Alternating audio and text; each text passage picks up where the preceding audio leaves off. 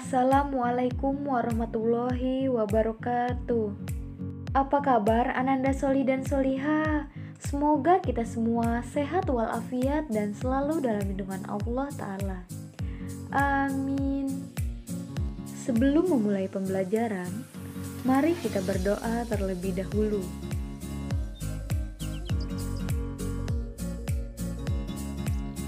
Hari ini kita akan belajar tema 5 Subtema 3, pembelajaran 3. Tujuan pembelajaran hari ini yaitu Pertama, siswa dapat mengetahui tokoh yang memperjuangkan keadilan, persatuan dan kesatuan melalui teks bacaan.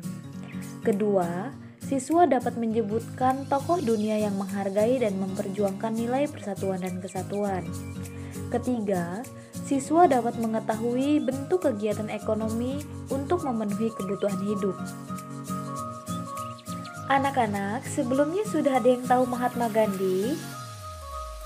Mohandas Karamchand Gandhi lahir pada 2 Oktober 1869 di Gujarat, India.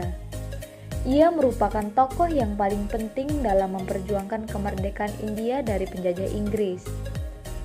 Berkat upaya dan jasanya yang besar dalam memperjuangkan persatuan dan kemerdekaan India tanpa kekerasan, ia pun dijuluki Mahatma Gandhi dalam bahasa Sanskerta berarti jiwa yang agung.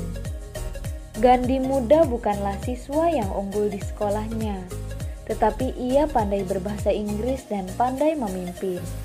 Karena belajar dengan giat, ia pun lulus dari bangku sekolahnya dan melanjutkan pendidikannya belajar ilmu hukum di Inggris. Setelah lulus, Gandhi menjadi seorang pengacara di India tetapi ia gagal dalam kasus pertamanya. Karena kegagalannya, Gandhi kemudian ditempatkan di Afrika Selatan, di mana ia mengalami diskriminasi ras yang disebut dengan apartheid. Namun, Gandhi tidak menyerah dan ia justru mendirikan gerakan perlawanan tanpa kekerasan. Setelah kembali ke India tahun 1896, Gandhi menjadi tokoh politik terkemuka yang mampu menyatukan India dari berbagai kasta dan agama tanpa menggunakan kekerasan. Gandhi percaya bahwa manusia dari segala agama dan suku bangsa mempunyai hak yang sama untuk hidup damai dan sejahtera dalam satu negara. Gandhi menjadi tokoh yang menginspirasi banyak pemimpin setelahnya. Salah satunya adalah Presiden Amerika Serikat, yaitu Barack Obama. Hingga sekarang, tanggal lahir Mahatma Gandhi dirayakan sebagai Hari Anti Kekerasan Dunia. Selain Mahatma Gandhi, masih banyak tokoh dunia yang begitu menghargai dan memperjuangkan nilai persatuan dan kesatuan. Anak-anak, ini adalah gambar dari sejumlah tokoh dunia. Ada Tenzin Gyatso, Nelson Mandela, Bunda Teresa, Abdurrahman Wahid, dan Haksu Teji Tejaiin. Selanjutnya, sebagai makhluk sosial, manusia pun membutuhkan kegiatan ekonomi untuk memenuhi kebutuhan hidupnya. Untuk memenuhi kebutuhan hidupnya, manusia melakukan berbagai kegiatan ekonomi untuk mendapatkan barang dan jasa yang diperlukan.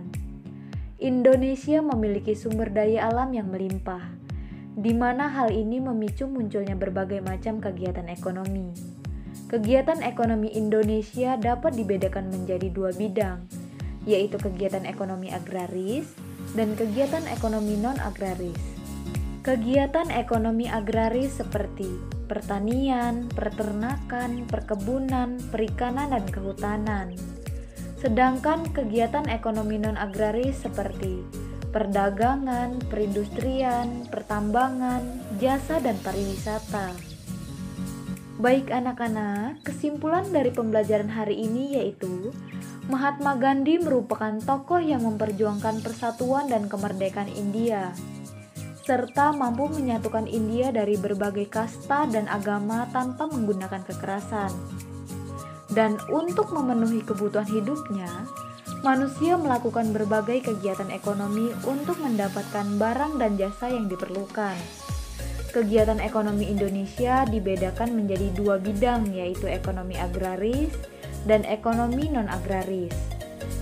Cukup sekian video pembelajaran hari ini. Semoga dapat bermanfaat untuk kita semua. Amin. Jangan lupa untuk selalu menjaga kesehatan dan selalu semangat dalam belajar. Wassalamualaikum warahmatullahi wabarakatuh.